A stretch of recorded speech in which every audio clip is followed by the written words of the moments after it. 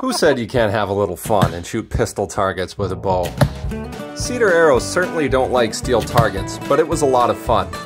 This little range setup here works well for either a pistol or a bow. I have another video where I show you how to make it, so check that out if you're interested.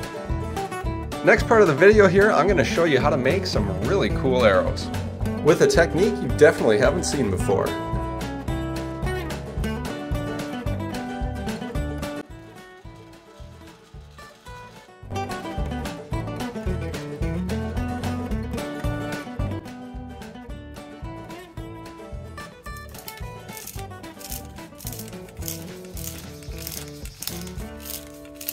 For me, archery is all about having fun and making things that look cool.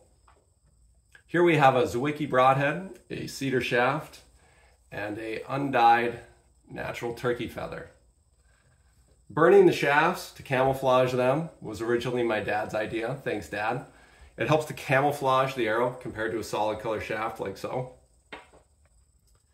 This is all the talking you're going to hear in this video. The build is up next. If you're looking for any more info, check the comments in the description, and thanks for watching.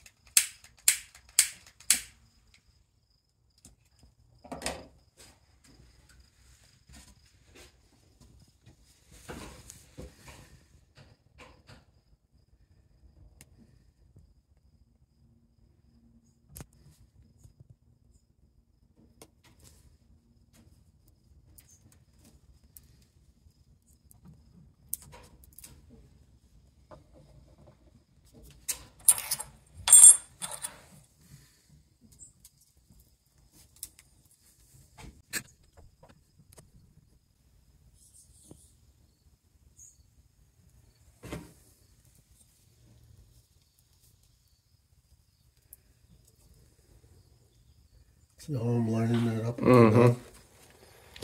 So.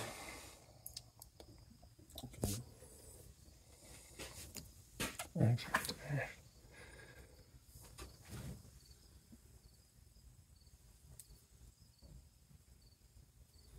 So just a wet cold rag to Set the glue. set the glue.